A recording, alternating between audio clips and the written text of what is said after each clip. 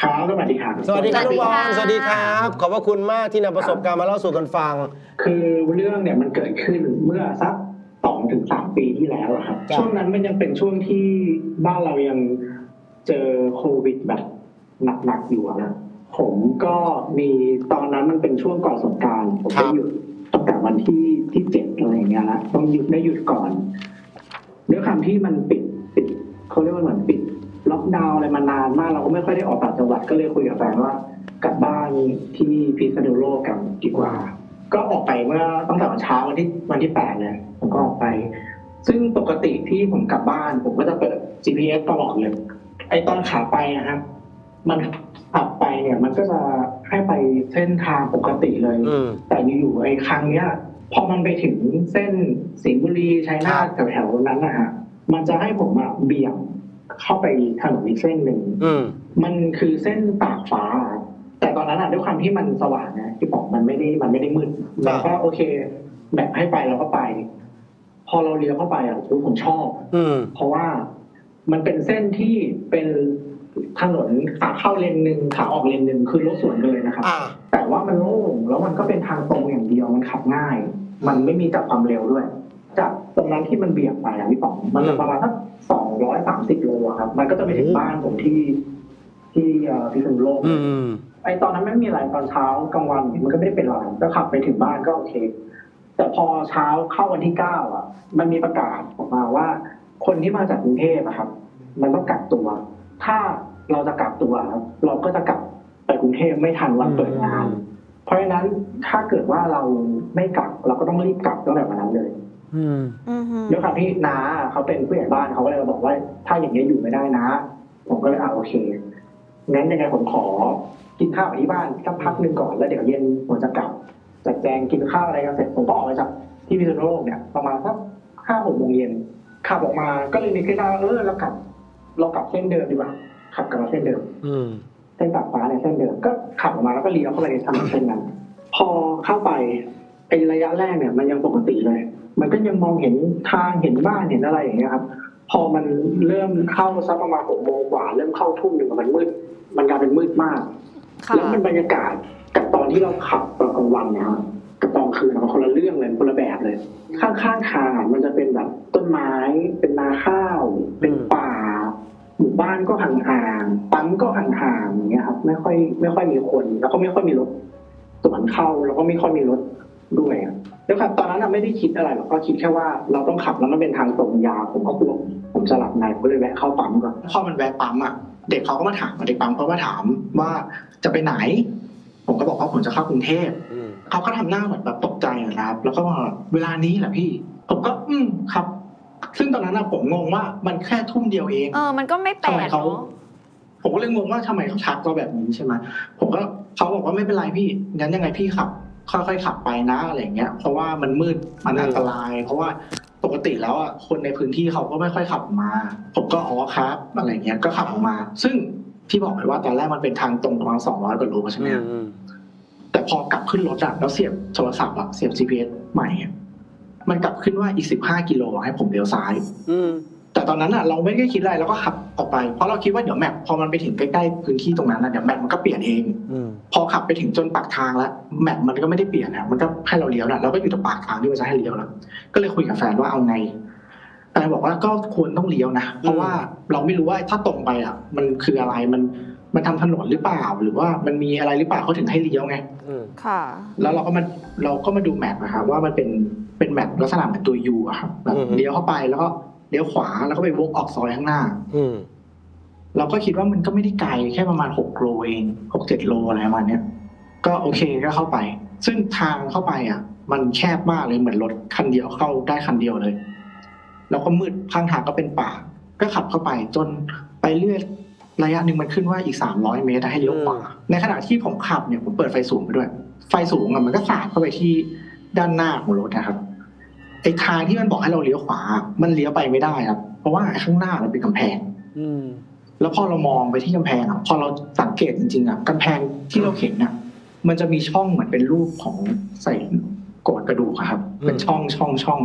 ซึ่งเราก็รู้แล้วแหละว่ามันคือกำแพงวัด แล้วมองไปทางซ้ายมือเนี่ยมันก็จะเป็นเป็นยอดเมนขึ้นไปสูงๆอะไรเงี้ยแล้วก็อืมไม่ใช่ละอย่างนี้ เห็นดูฟังเรื่อง GPS เรื่องอะไรแบบเนี้ยเยอะก็เลยแบบ คิดแบบครับว่าโอเคไม่เอาแล้ว เราก็เลยพยายามที่จะถอยกลับรถที่จะออกทางเดิม ตอนนั้นก็กลัวแล้วพอกลับรถได้ครับกำลังจะเหยียบอับออกไปทางเดิมเนี่ยมันได้ยินเสียงเป็นผู้หญิงนะครับกรีดซึ่งเราอยู่ในรถอะแต่เราได้ยินชัดมากเลยว่ามันกรีดเหมือนซึ่งกรี๊ดผมกับแฟนก็ได้ยิน คือกรี๊ดในรถเลยเหรอกรีดออกจากจริงจากข้างนอกครับ แต่ว่าเราอยู่ในรถเราได้ยินอ๋ออ่ายีดผมก็เลยมองที่กระจกหลัง สิ่งที่ผมเห็นคือผมเห็นผู้หญิงใส่เสื้อกล้ามนะครับใส่ผ้าถุง ผมยาว กระโดดลงมาจากกำแพงวัดครับอืมเฮ้ยแล้วก็วิ่งวิ่งมาวิ่งมาที่วิ่งพยายามวิ่งมาที่รถผมอะพอเราเห็นนะเราก็เลยรีบเหยียบออกไปเลย อืมเราก็พอเหยียบไปก็ ทีนี้ก็ไม่ได้มองละไม่มองกระจกไม่ไม่กล้ามองแล้วก็เหมือนกับพยายามดิ่งออกไปให้เร็วที่สุด ให้ออกจากตรงนี้ให้ได้เร็วที่สุดละครับ พอเราออกไปถึงหน้าปากทางแล้ว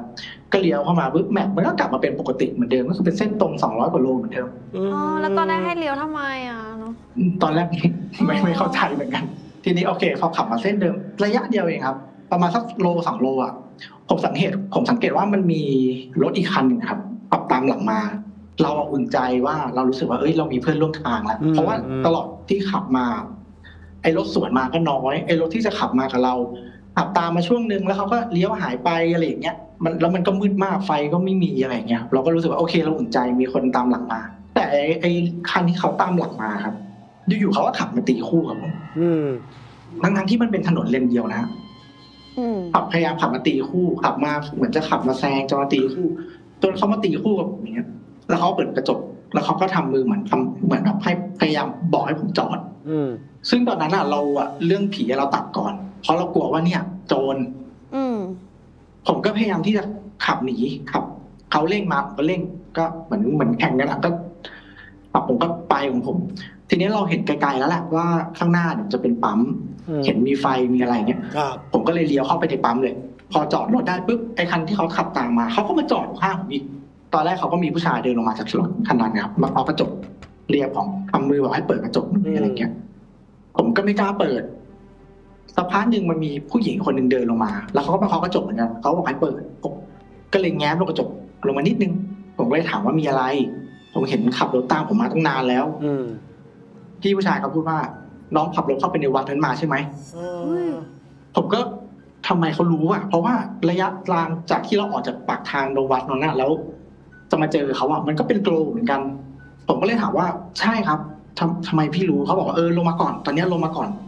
มันอยู่หลังรถอะไม่เห็นหรออืมผมก็อะไรอะตอนนั้นตกใจก็เลยพากันลงนะพากันลงรถพี่ผู้หญิงเขาก็เดินมาเดินมาเดินมาอยู่กับผมส่วนพี่ผู้ชายอะเขาเดินไปที่หลังรถ แล้วก็ถือพระไปองค์หนึ่งครับ แล้วเขาก็สวดสวดสวดสวดสวดแล้วเขาก็เหมือนตะโกนขึ้นมาดังๆแบบประมาณแบบให้ไปถ้าไม่ไปกูจะแช่งอะไรทำนองอย่างเงี้ยอืมแล้วสักพักหนึงเขาเดินกลับมาเขาบอกโอเคพี่จัดพี่พี่พี่จัดการให้ละเดี๋ยวยังไงพระองค์เนี้ยพี่ให้น้องเก็บไว้ แล้วก็ขับรถไปอะ เจออะไรข้างทางห้ามจอดห้ามแวะอืมจนกว่าจะหลุดเส้นเนี้ยให้ขับตรงกลับบ้านไปเลยอย่าอย่าจอดอย่าแวะอืมผมก็รับพามาก็โอเคครับขอบคุณมากครับ เสร็จปุ๊บก็เข้ามาที่รถก็โอเค นั่งตั้งสติกันโอเคก็เอาพระเนี่ยให้แฟนถือไว้ครับส่วนพี่เขาก็ขับรถแยกแยกกันไป ผมก็ต้องขับเพื่อที่จะกลับกรุงเทพต่ออย่างเงี้ย ก็ขับออกมา ตลอดทางเลยขับออกมาปุ๊บแรกๆหลังจากที่ออกจากปั๊มตรงนั้นมาก็ไม่มีอะไรไม่มีเหตุการณ์อะไรจน ผ่านมาระยะหนึ่งครับสักประมาณชั่วโมงกว่านะขับไป ตอนนั้นอะแฟนอะหลับไปแล้ว อืมผมมาขับอยู่ แต่ผมอะเห็นว่ามันมีผู้หญิงครับ ยืนอยู่ข้างทาง เป็นผู้หญิงใส่ชุดคลุมท้องสีขาวอืมสภาพก็คือเลือดเต็มเต็มเสื้อเลย เต็มชุดเลย แล้วก็ยืนโบกมือ ผมเห็นน่ะผมก็ไม่จอดแล้วเพราะมันก็ไม่ใช่เรื่องปกติผมก็ไม่จอดผมก็ทำเป็นเหมือนมือน่ะเหมือนมองไม่เห็นไปอือหือพอผ่านจากจุดตรงนั้นไปได้สักระยะหนึ่งครับ ก็เจอผู้หญิงคนนี้อีกแต่ ในลักษณะเหมือนเดิมเลยครับ แต่เขาเดินอะ ออกมาเริ่มเริ่มที่จะเดินออกออกมาห่างจากข้างถนนเยอะขึ้นค่ะพอเห็นเราก็ทำเป็นมองไม่เห็นอีก เราก็เลยขับตรงไปอีก อีกสักระยะหนึ่งก็เจอผู้หญิงคนนี้อีก แต่ทีเนี้ยเขาเดินมาอยู่กลางรถเลย ยืนอยู่กลางรถเลยอืมด้วยความที่เราเห็นแล้วเราตกใจอะในขณะที่หักหลบอะมันมีรถอีกอีกอีกฝั่งหนึ่งอะมันสวนกลับเข้ามาพอดี มันก็คือแบบ แต่แต่คือเราก็ยังถือว่าเราก็มีสตินิดนึง แล้วก็ หักได้โดยที่ไม่ได้ไปชนกับรถฝั่งไอ้อืมฝั่งที่กำลังสวนมาครับครับ พอผ่านไปจากนั้นอะ คือเราอะใจเราแบบว่าสั่นไปหมดอะ และในขณะเดียวกันแฟนอะ ที่นั่งอุ้มผาอยู่ครับเขาหลับอยู่เขาก็กรีดขึ้นมาอืมซึ่งผมก็ตกใจว่ามีอะไรเขาก็เลยบอกว่าเขาฝันเขาฝันไม่ดีเลยครับผมก็ถามว่าฝันอะไรเขาฝันว่ามันมีผู้หญิงใส่ชุดคลุมท้องแบบเลือดเต็มตัวเลยอะ มายืนชี้หน้าเขาอืม แล้วก็มาด่าเขาว่าทำไมมึงเห็นกูแล้วมึงไม่จอด อืมอ๋อ อืมซึ่งไอตอนเนี้ยที่ผมเล่าในในเด็กโกดอะอืมแล้วมันก็จะมีอ่าคนที่เขาฟังเขาคอมเมนต์มาว่า ว่าเขาเจอแบบเนี้ยลักษณะเดียวกับผมอะเหมือนกันเลยอ่าหลายคนที่เจอแบบเนี้ยกับถนนเส้นเนี้ยเหมือนกัน ครับ อืม แล้วพอ ขับผ่านจากตรงนั้นไป ทีนี้เราก็โอเค เราก็ไม่ไม่ได้จอดไม่ได้อะไรเราก็ไปเรื่อยๆ จนมันอีกอีกประมาณสักสิบยี่สิบโลเองอะอืมมันจะออกจากเส้นนี้แล้วอะครับ ซึ่งไอ้ปลายปลายทางตรงนั้นนะมันจะเริ่มมีไฟ แล้วก็จะมีมันจะเริ่มดูคึกคักละมันจะเริ่มมีไฟ เริ่มมีหมู่บ้าน มีปั๊มเยอะขึ้น เริ่มมีรถที่มันจะสวนเข้าอะไรเงี้ย เริ่มเริ่มเริ่มมีเข้ามาแล้วครับ ในขณะที่เราขับอยู่อะเรารู้สึกว่าเหมือนเราไปชนกับอะไรสักอย่างหนึ่งที่กันชนด้านด้านด้านซ้าย ซึ่งถ้าเกิดว่าใครใครขับเส้นนั้นนะจะจะรู้ว่าระหว่างทางอะมันจะเห็นแบบขอโทษนะครับเป็นศพแบบน้องหมาน้องแมวอะอืมที่โดนรถชนอะเยอะมากเลย เส้นนั้นอะเราก็เข้าใจว่าเราอะน่าจะไปชนหมาหรือแมวแน่เลย แล้วด้วยความที่กลัวว่าเพราะมันชนแล้วมันค่อนข้างรถมันสั่นรถมันสั่นเลยครับเราก็เลยคิดว่ามันน่าจะชนหนักแล้วกลัวว่าไอ้ตัวกระจัดกระจังหน้ามันจะหลุดหรืออะไรอย่างเงี้ยแล้วขับไปมันอันตราย ผมก็เลยขับไปแล้วพอจมมันเจอมันเป็นศาลาแล้วมันก็จะมีไฟไฟทางนะครับ สว่าง ผมก็เลยไปจอดอยู่ตรงนั้น เพื่อที่จะดูว่าเราไปชนอะไร ก็จอดเสร็จผมก็เดินลงมาดูก้มๆเงยๆดูว่ามันก็ไม่เป็นอะไร ไม่มีคราบเลือดคราบอะไร ไม่กับไอตัวกันชนก็ไม่ได้แตกไม่ได้หลุดไม่ได้อะไรอืมในระหว่างที่เรากำลังแบบว่าเอ่อก้มๆเงยๆอะครับอยู่ๆก็มีลุงที่ไหนอะไม่รู้เขาเดินมา แล้วเขาก็ถามว่าไอ้หนูมึงทำอะไร แวบแรกนะตอนนั้นเลยอะคิดเลยว่าอืมลุงไม่น่าใช่คนนะเพราะว่า มันไม่น่าจะมีใครที่จะมาอยู่ตรงนี้ได้เร็วขนาดนั้นนะอืมอืมผมก็ไม่ตอบนะพูดแค่ว่าเปล่าครับ แล้วผมก็เดินถอยออกมา แล้วก็กลับมาที่รถ แล้วคราวนี้เสร็จระหว่างที่กำลังจะเดินเข้า จะมาเปิดประตูรถเข้ารถเนี่ย ลุงแกก็เดินผ่านหน้ารถผมไปแล้วเขาก็หัวเราะฮึ่มไอ้หนุ่มเดี๋ยวลุงทำอะไรให้ดู อืมแล้วเขาก็วิ่งผ่านหน้ารถผมไปใช่ไหมครับ แล้วก็วิ่งข้ามถนน แล้วก็โดยรถอีกฝั่งหนึ่งที่มันกำลังสวนเข้ามาชน แล้วร่างเขาอะก็กระเด็นมาทางรถผม ซึ่งพอเห็นอย่างนั้นเราก็ตกใจเราก็โดดกระโดดขึ้นรถเลยผมก็โดดขึ้นรถผมก็นั่งตัวมือเย็นมือชาอยู่พักหนึ่งแฟนผมก็ถามว่ามีอะไรเป็นอะไร ผมก็เลยเล่าให้เขาฟังว่าเป็นแบบนี้แบบนี้เขาบอกว่าไม่มีเขาก็จะถามผมอยู่ว่าที่ผมลงไปผมคุยกับใครเพราะเขาเห็นว่าเขานั่งอยู่ในรถเขาเห็นผมยืนคุยกับใครก็ไม่รู้เขาบอกเนี่ยพอเราเห็นอย่างนั้นเราก็เลยโหนึกถึงคำที่พี่เขาบอกว่าห้ามจอดห้ามอะไรเงี้ยเราก็ โอเค มันผิดที่เราขนาดที่เราดันไปจอดเพิ่มอีกอะไรอย่างเงี้ยทีนี้ก็เลยโอเคขึ้นรถมาด้วยการที่บอกว่ามันจะใกล้หลุดเส้นอะไรสิบโลยี่สิบโลผมก็เลยจากตรงนั้นก็เลยยีบเหยียบออกไป โดยที่ไม่ไม่ไม่ได้จอดไม่ได้แหวะอะไร แล้วทีนี้ก็ดิ่งจนกลับบ้านอะไรเงี้ย ก็ปลอดภัยดีพอเช้ามาก็ทำบุญทำอะไรเงี้ยให้เขาครับเนี่ยครับก็เรื่องทั้งหมดก็จะเป็นประมาณนี้ พอกลับมาเนี่ยผมก็ไปถาม ผมทำงานเป็นเกี่ยวกับขนส่งอ่าเป็นโลจิสติกนะครับ ผมก็จะมีเป็นพวก พี่ๆที่ทำเกี่ยวกับพวกรถบรรทุกเนี้ยผมก็มีไปถามถามเขาเขาบอกว่าเขาอะไม่เคยเจอ แต่เขาก็รู้รับรู้เรื่องประมาณเนี้ยมาเหมือนกัน กับเส้นเนี้ยเขาก็บอกว่ามันเป็นมันมีแบบมีคนมีคนตายมีอะไรอย่างเงี้ยมามาเยอะ เพราะว่ามันเป็นถนนที่ค่อนข้างมืด แล้วมันก็เป็นเลนสูงนะเลนเดียวอืมแล้วก็สมัยก่อนอะถนนแย่กว่านี้เขาบอกสมัยนี้ดีแล้วนะเขาว่าอย่างนี้นะอืมผมนึกออกนะพี่ป๋องประมาณนั้น พอพอนึกออกเลยครับว่าเส้นเส้นนี้ใช่ไหมเคยไปไหมคะ เหมือนเคยไปทุบสารแถวใกล้ๆแถวแถวๆเส้นเนี้ยด้วยครับ มันอยู่ในพื้นที่ของอืมจังหวัดพิษณุโลกปะมันอยู่ไม่ไม่แถใช่วครับ ตาคี ใช่ใช่ใช่ครับน่าจะเป็นช่วงนครสวรรค์ใช่ไหมมันจะเป็นนครสวรรค์ที่จะเส้นไปไปทางพิษณุโลกแบมันบจะนั้นใช่ไหม เปรี้ยวๆหน่อยครับ เออบอลเนี่ยขอบคุณมากนะกับประสบการณ์นี้นะ เรื่องของถนนขึ้นชื่อนะ ไว้มีโอกาสก็ครับนำเรื่องราวต่างๆ แบบนี้มาแล้วพวกเราฟังอีกนะ ขอบพระคุณมากบอลขอบคุณค่ะ ขอบพระคุณครับขอบพระคุณผมครับสวัสดีสวัสทุดีกท่านคครัรับ บ สวัสดีครับบอลครับ